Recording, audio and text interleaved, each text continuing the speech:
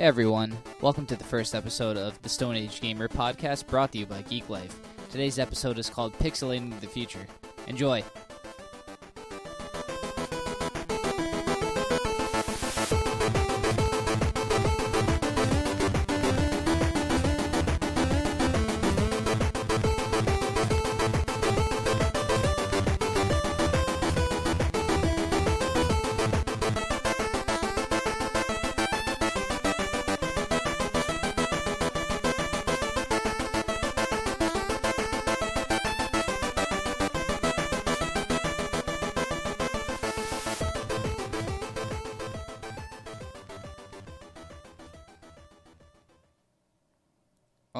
God, we made it to our first episode. I am so excited right now. I can't even tell you how excited I am.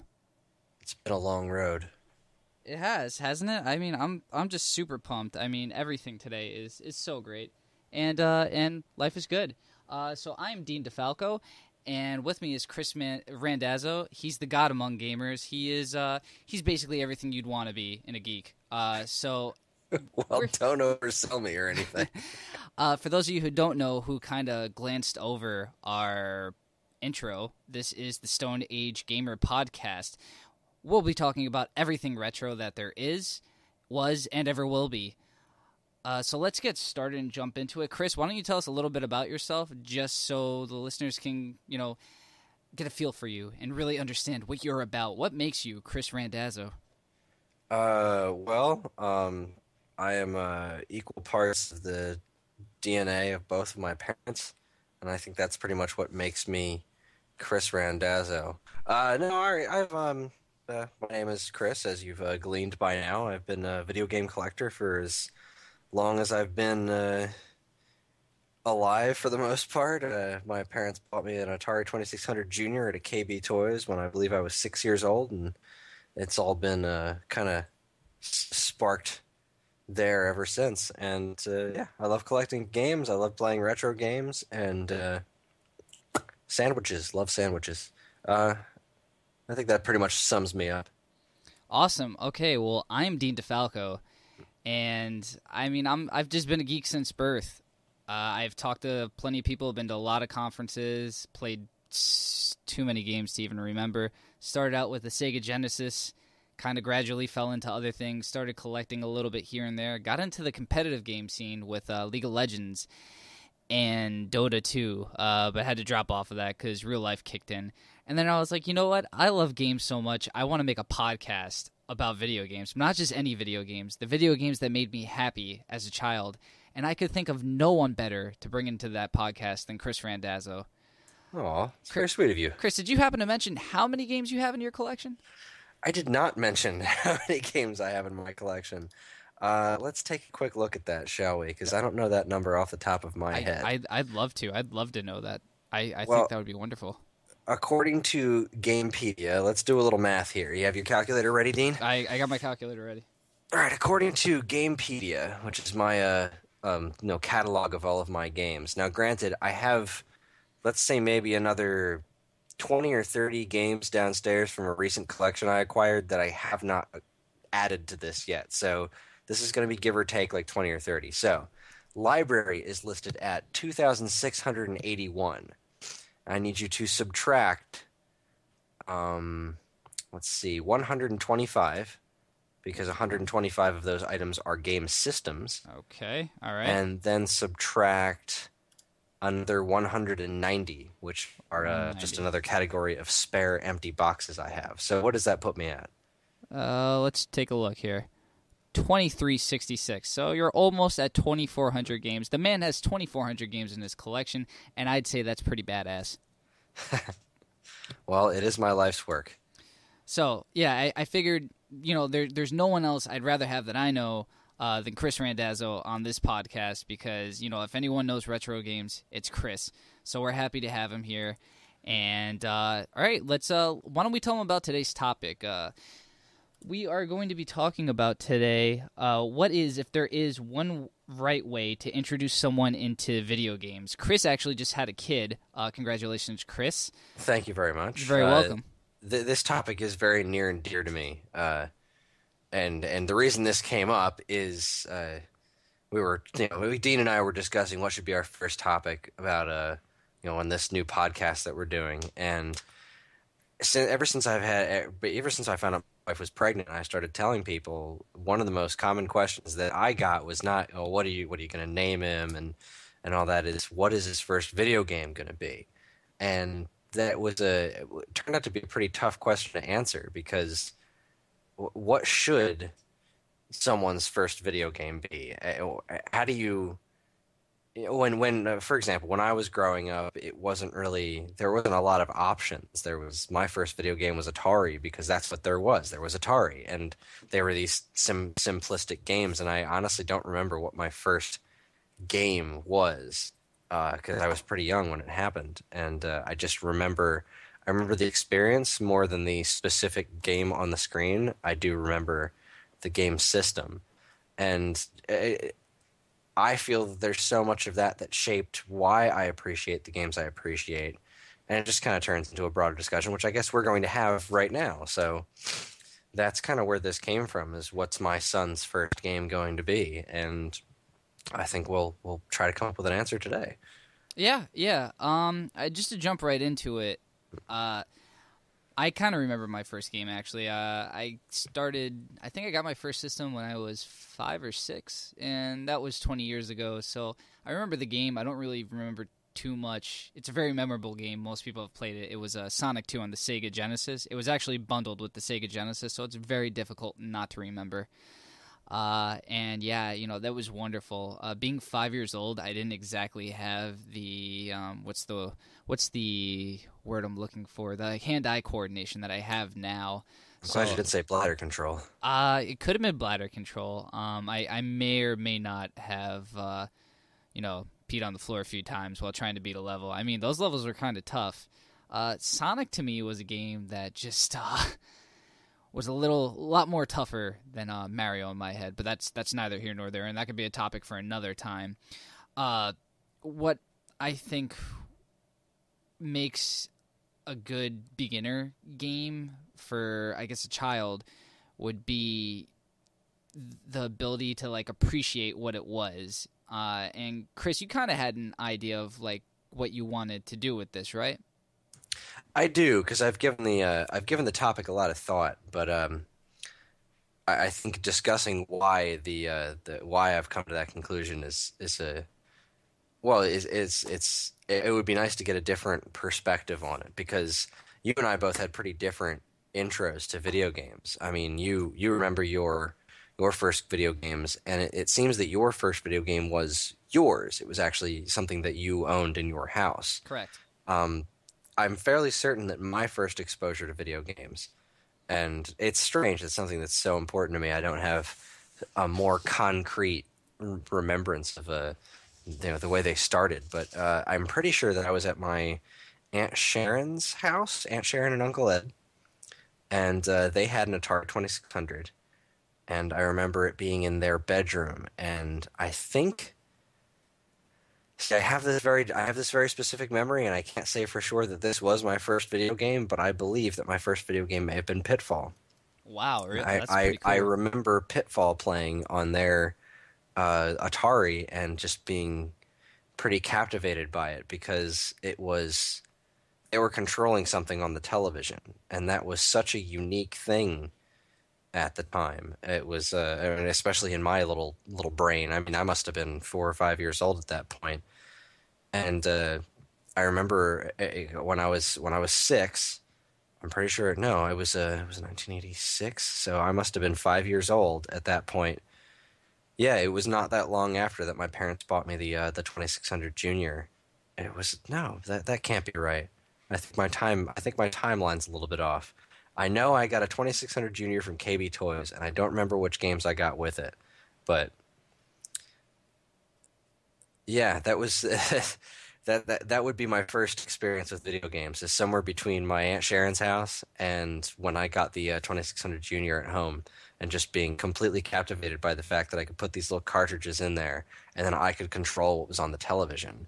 And it just it was this whole new world of imagination for me because if you've ever I mean, I don't know how old the people are listening to this would be, but if you uh, back the day, back when Atari was the the go-to video game system. The the graphics were little more than squares. There wasn't a whole lot of visual flourish and flair to these things, but the box art is just stunning. I mean, you look at a game like Missile Command, and it's these little blocks down on the bottom, and you move this cursor around, and you shoot lines at falling lines, and and things blow up because you know they blow up because these little diamond shaped quote unquote explosions have these lights and sounds to them that signify explosions. But then you look at the, the box art for it, and you've got this guy on a helmet, and there's some other lady. I think she's holding a clipboard, and they're launching missiles, and it seems to have it, it, it created this whole world. And I remember looking at the boxes for the, that and and Defender.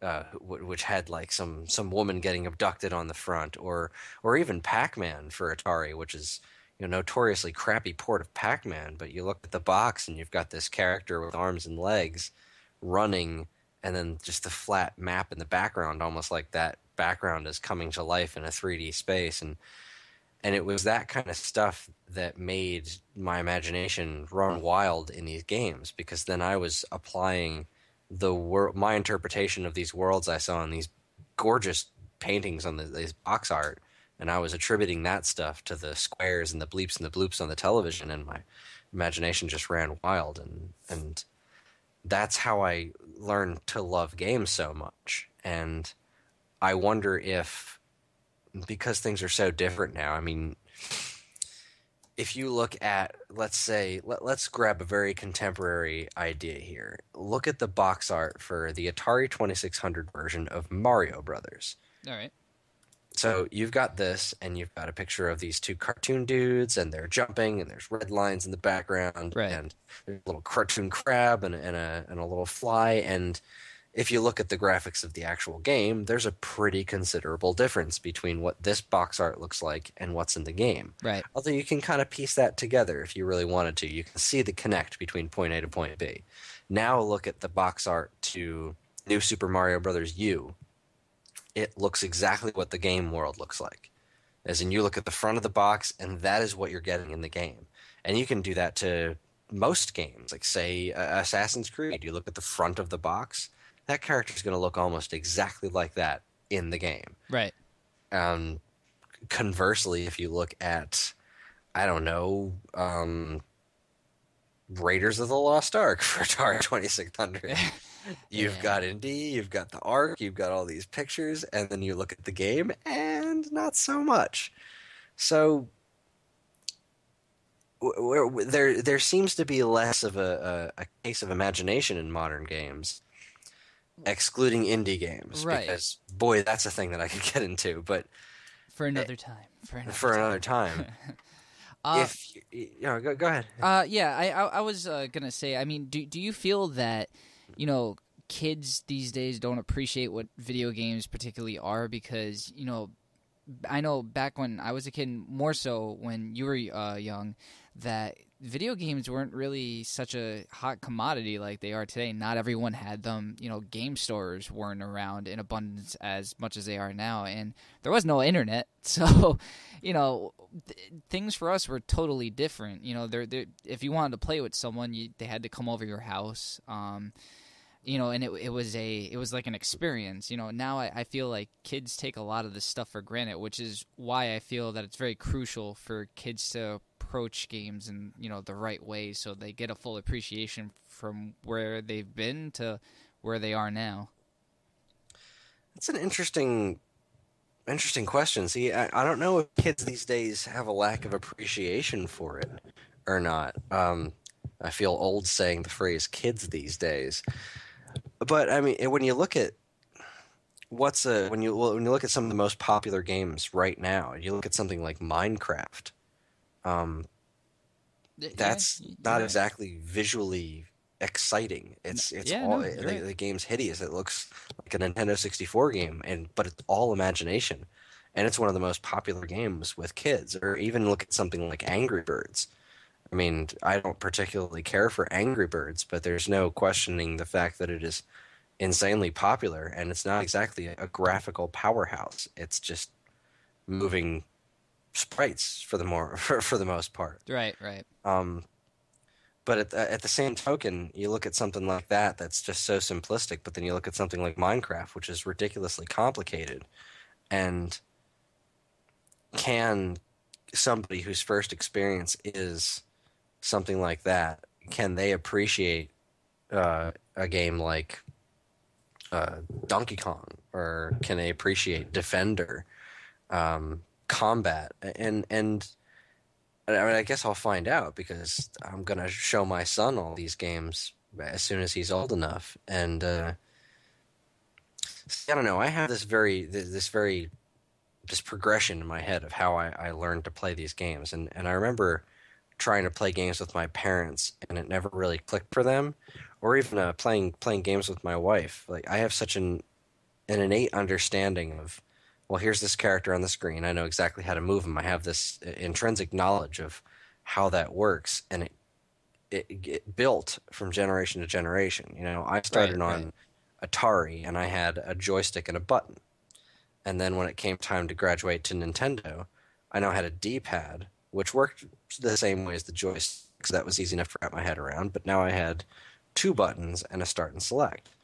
So that took me a little bit to get used to, but once I did, I was good to go, and then I could do anything anything with the Nintendo. And then I moved on to the Super Nintendo or the Sega Genesis. But me, I moved on to the Super Nintendo. My friends had Genesis, and it basically built on that same thing. Now I had a D-pad, four buttons, shoulder buttons, and a start and select.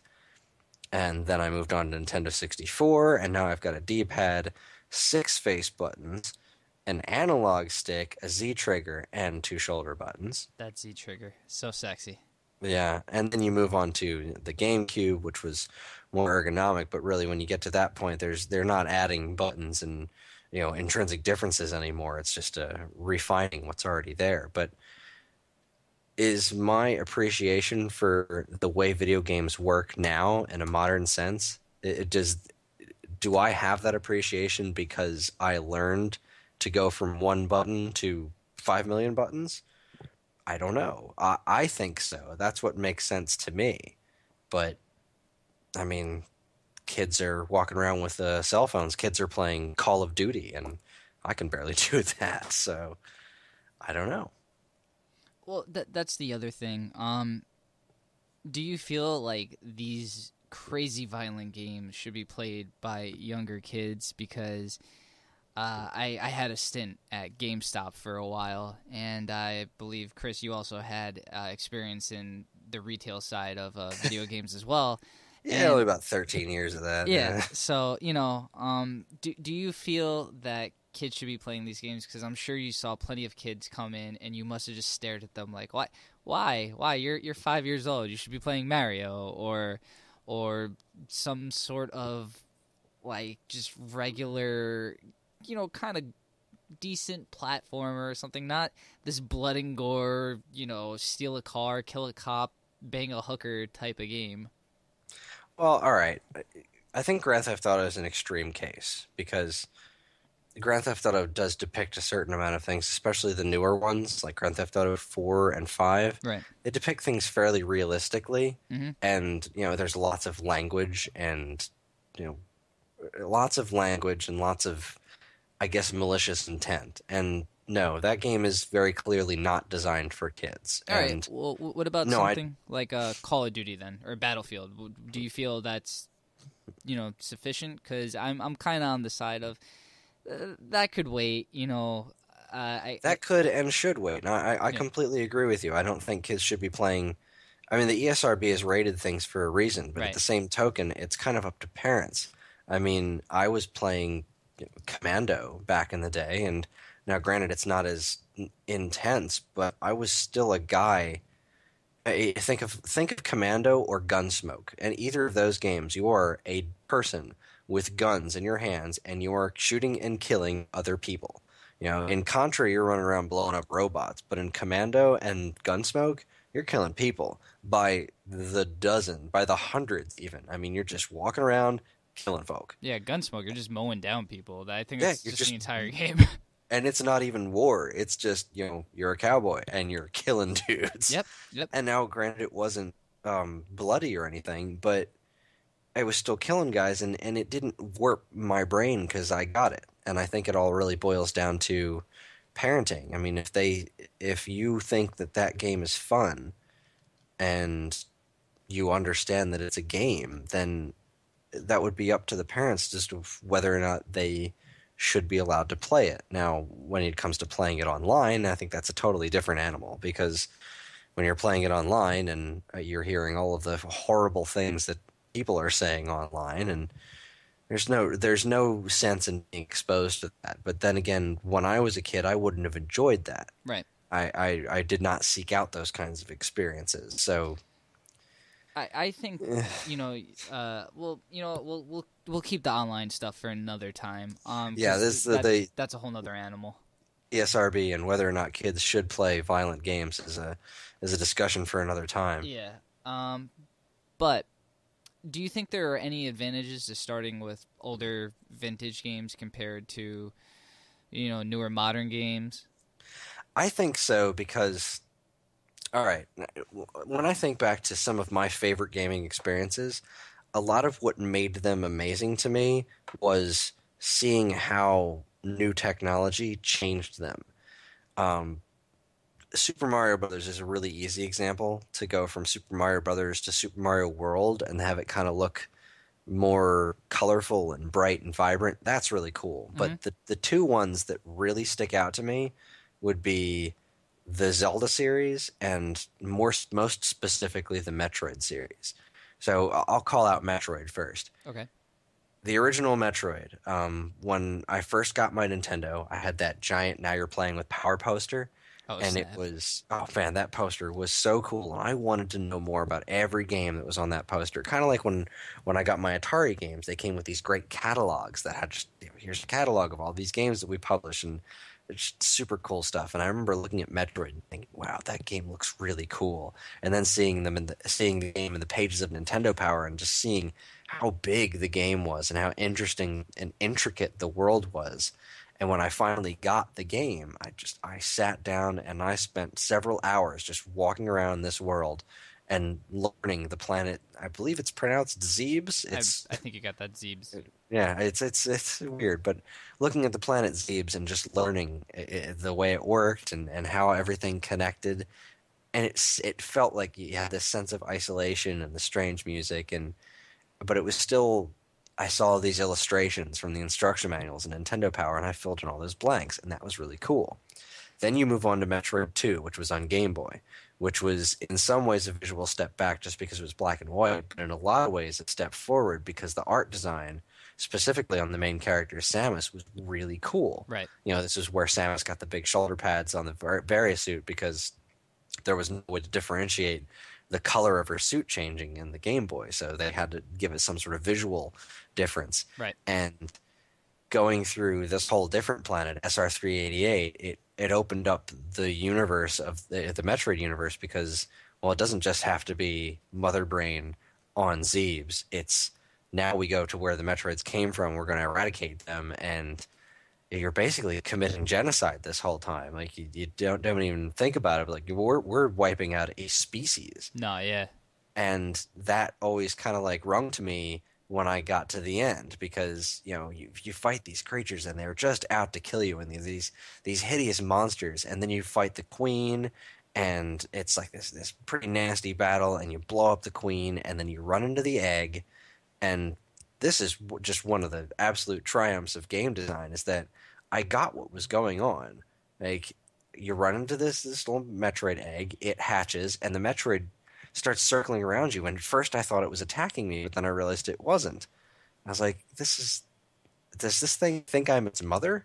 And I walked over to this wall and it killed this wall so that I could walk through. And, and I made it all the way back to my ship with this little baby Metroid. I was like, oh, oh, that's, that's really cute. I saved this little baby Metroid at the end. And it's, it's not evil. It's just a creature and it does what it does. So that was really neat.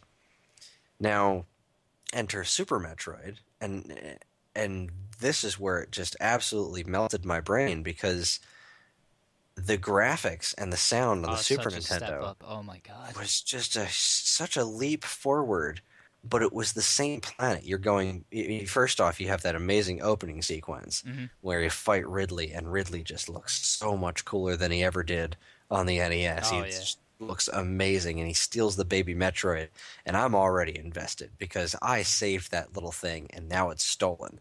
And when as soon as I follow that thing back to Planet Zebes, and you see her ship landing, Mhm. see in the first game you never saw the ship. Second game you saw the ship, but it only stood still. Right. Now I get to see the ship in full color landing on a planet, Mhm. and I get out and it's raining, and I take a step to the left, and there's actual water coming off of Samus's feet as she walks across the ground. And then you get, you go into a you go into the the Crateria as it were. You find your way down this cavern, and then you wind up where the bomb went off at the end of the first Metroid, and it looks amazing because it's laid out exactly the same, except now there's a background instead of you know, flat black, and it's all destroyed and smoky because you set off a giant bomb there. And you go into the next room, and there's the remains of Mother Brain and all the uh, machinery surrounding her. And it looks so amazing because it looks more like what you imagined it looking like when you were playing the NES game. And then you go down another elevator and you find yourself in the exact same room in Brinstar as the very first screen of the original Metroid.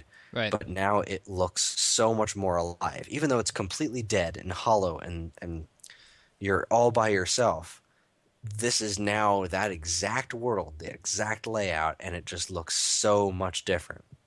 Now, if I looked at that for the first time and I had never had any experience with the prior series, then I, I don't know that it would be as impressive to me. I mean, I'm sure it would still look nice to me. It would still look appealing because it is artistically phenomenal. right. But I had this look of now what I'm seeing on the screen is so much closer to what I saw in my imagination, what I imagine this world really looks like. And seeing that come to fruition is eh, you can't experience that if you're going from new to old. You know, if I start on Metroid Prime and then, or better yet, if I start on Sonic Generations and then I go back and play Sonic 1, that world's not going to look as impressive to me. Right, but if you start on Sonic 1 and then play the Green Hill Zone in Sonic Generations, that's really freaking cool. Yeah, it's because step up. That's the Green Hill Zone, but realized. Kind of getting back to what I was saying about the Atari games and the box art. It's it's watching video game technology catch up to your imagination is a remarkable experience, Oh, and. I think that seeing that seeing that happen, and uh, I, I think getting to experience that kind of evolution makes you appreciate uh, it it makes you appreciate the worlds that are built in games a lot more. But only if that's what you appreciate about games. Because if you're playing Call of Duty, you're not really interested in the box art. You're not interested in a fantasy world. You're interested in this gaming experience where you're you're killing guys and, Right. and stuff. So I, I, I guess it really depends on what you want to get out of your games. I, I get where you're coming from, but uh, to tie this up into kind of a, a neat bow, uh, anyway, for this part, uh, I, I kind of look at it almost like you know you're watching a movie. You know, you, you were talking about you, you played the first one. You know, you, you you got through the whole story and everything. You played the second one. You found this little baby Metroid that you rescued, and then in Super Metroid, Ridley takes it and everything. You you got like emotional attachment to this. That's like watching Lord of the Rings, you know, all the way through, and you have attachment to these characters and everything because you've been watching them for three movies, you know, and at the end, you know, they're they're all like separating, going all their ways, and you have like all these like attachments to them. Like you you know these people. They you've been observing them, you know. I, I guess through I guess what would you call it? I guess narrator's eye. Sure. Yeah, I, I don't I don't know what to call that, but I, I you know viewing as the audience, you know, you're you're taking that third person view and you're seeing everything that happens to them.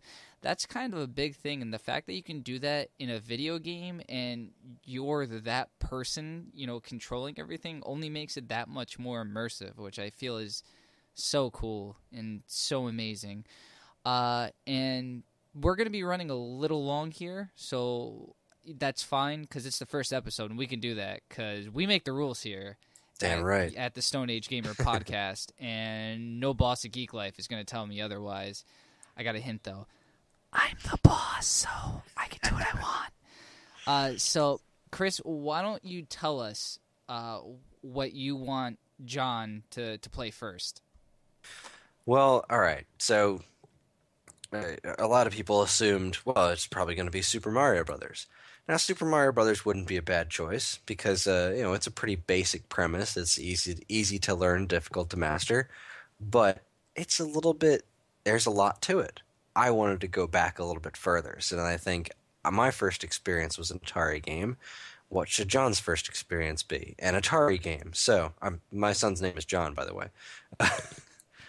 I um I thought about Pitfall, and while Pitfall is a, a, a thing where you move a character, you also have to move a character up and move a character down.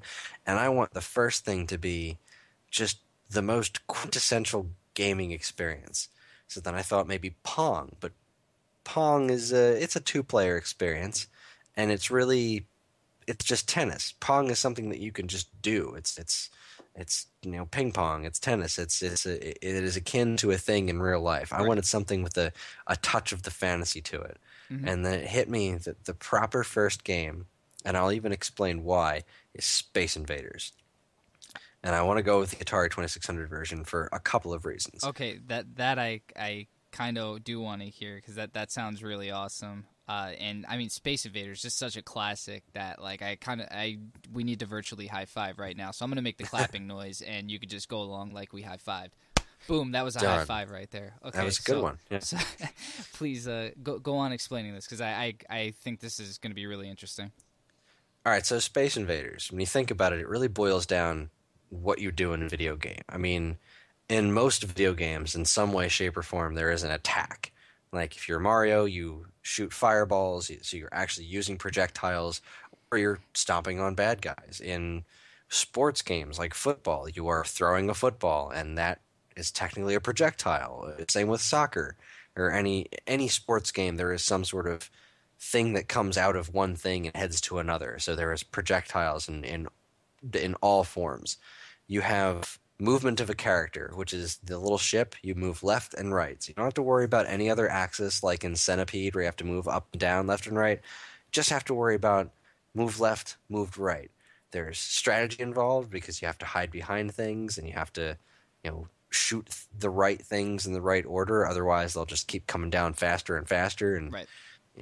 there, there's there's strategy to it, there's skill to it, and it really gives you the basic core of what it means to be playing a video game. And I think that nothing really exemplifies the ba- very basic basics of gaming better than Space Invaders.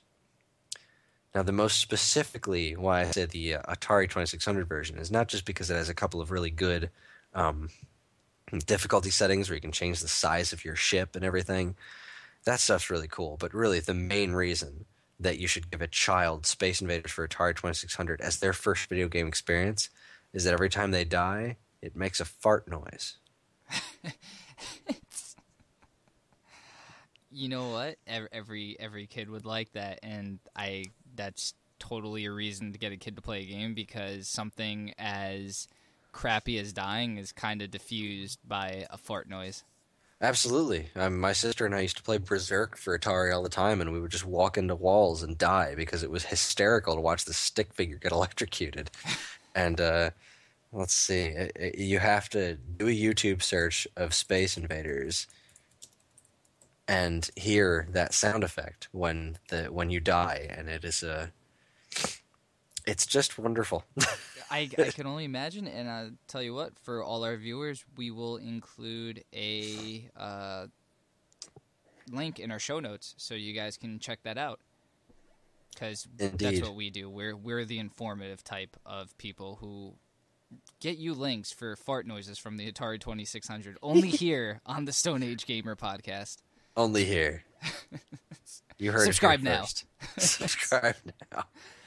Okay. Uh well, I mean that's that's really awesome. I think that's such a good reason to to have that game in specific be the game that you want John your kid to play because you're you're right. It totally exemplifies, you know, all the basics of a, you know, or the core of what every game video game video should have. Video game should have. Uh, you know, it, it's it's got everything, and I, I really think that's perfect. Uh, there there probably couldn't have been any better games to pick than that. And you're right, Mario Brothers is kind of like jumping into a seven foot pool when you don't know how to swim. So yeah, I, you know what that that's I totally agree with that. And fart noises on the Atari 2600 make it even better. Oh hell yeah! so I think that wraps it up. Uh, do you, do you have anything else to add uh, as far as uh, the first first game for any child, or you know, any well, thoughts on this is th- this is what I came up with, and I'm curious what anybody else would come up with. Um, do any of you have uh, a better idea, a different idea? What would you do with your kids if uh, if video games are as important to you as they are to me? How would you introduce them to your child? Uh, I'm I would love to hear what anybody else thinks of this. You know what? That would be great. Actually, we have a convenient email that you guys can email us at.